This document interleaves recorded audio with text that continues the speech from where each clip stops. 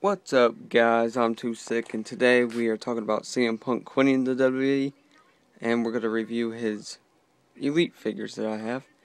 So, um, yeah, CM Punk got mad because the way the WWE wanted to use him at WrestleMania, they wanted him to verse Triple H, and he felt like he deserved a shot against Randy Orton for the WWE World Heavyweight title.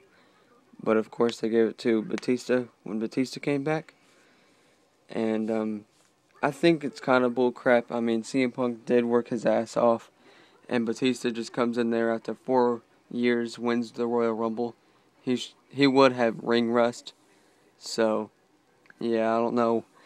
If I was CM Punk, I would continue to be in the WWE just to get like more shots. I mean, they probably would have put him in the elimination chamber.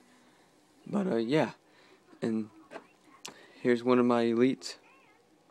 CM Punk comes with the Best of the World shirt. Of course, it doesn't say it on the back, but who cares? Red X's on his hands. Drug free right there on his hand. Drug free. And I'm going to take his shirt off real quick. So I'm just going to put the camera set up here. And that's my entrance stage for my WWE figures. Got the steel cage and everything. And this is his accurate tattoos on his chest. Straight edge, his pants right there. And yeah, pretty good elite figure.